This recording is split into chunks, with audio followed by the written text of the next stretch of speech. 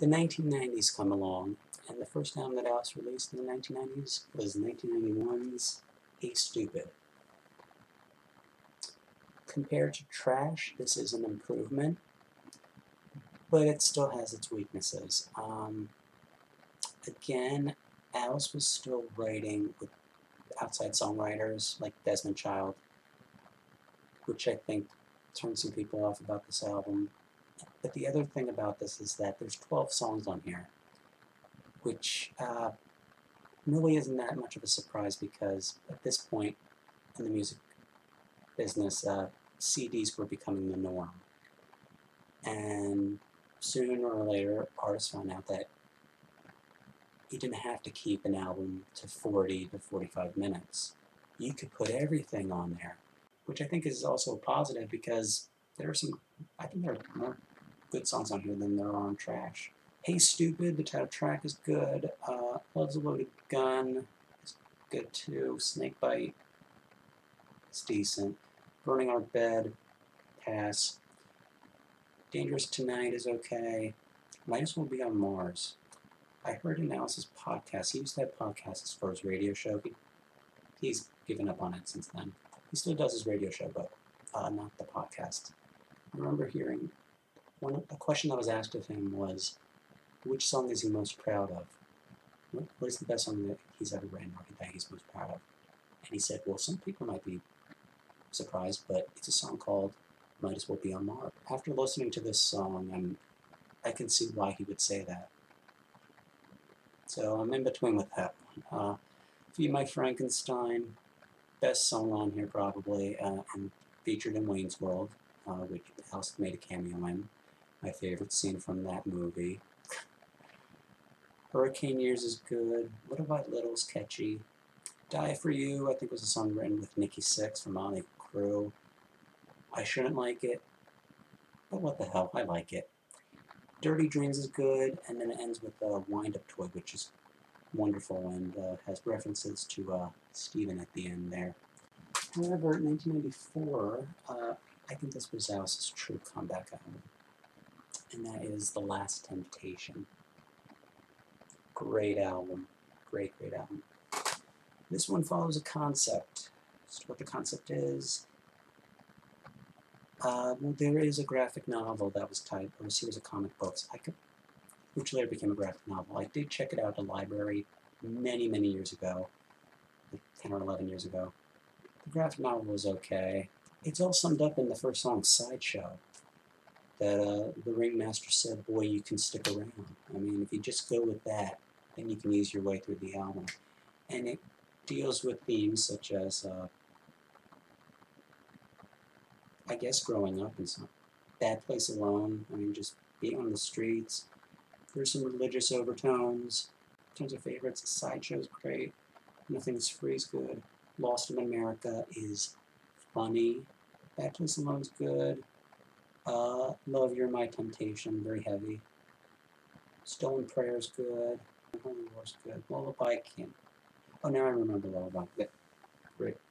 Lullaby's good. Uh, it's Me. Cleanse by Fire. This is probably one of his, his first in a while that was really good from top to bottom. Highly recommended. And that album was released in 1984. And believe it or not, it was the last Cooper album that would be released for six years. So we didn't release another album until the year 2000. However, in between that time span, in 1997, a live album was released called A Fistful of Alice. Fistful of Alice, I think, was a show recorded in 1985, and uh, compared to the other live album they had, which is The Alice Cooper Show, yeah, it, A Fistful of Alice is the better album, um, because Alice is sober for one, and two, uh, has a couple of uh, special guests, like he gets Slash for Lost in America, Rob Zombie to come up and sing with him for, um, what was it? Uh, Feed My Frankenstein. And there's a lot of cameos, and he sort of talks to the audience, and uh, don't know if the, the concert was ever released on video. I, I don't know. Uh, and there's also a really good studio track, a brand new studio track at the end of the album called Is Anyone Home? Then come 2000, Alice Cooper releases his first album since The Last Temptation. And this album is considered by many to be his heaviest, and I would agree. Brutal Planet. This album took a while to grow on me here. Uh, it's, when I first heard it, I just thought, how can people like this? It's just, it's just too heavy for me. But after listening to it after a while, this really is a good album. Think of it as his response to the nu metal that was happening. It was his response to all the Marilyn Mansons, the Rob Zombies, and, uh, you know, here's Alice's take on that. And uh, it's a really good album. Going by the tracking list, uh, Brutal Planet, great opener, Wicked Young Man, he still plays live sometimes. Sanctuary, Balls Out, uh, heavy. Um, especially during the chorus. Um, Pessi-Mystic's good. I like Gimme. It's the little things. Uh, even on one of his heaviest downs, the guy can still manage to be silly. Take It Like a Woman is almost an offspring of um, Only Women Bleed. It ends with Cold Machines, which uh, closes up the album nicely.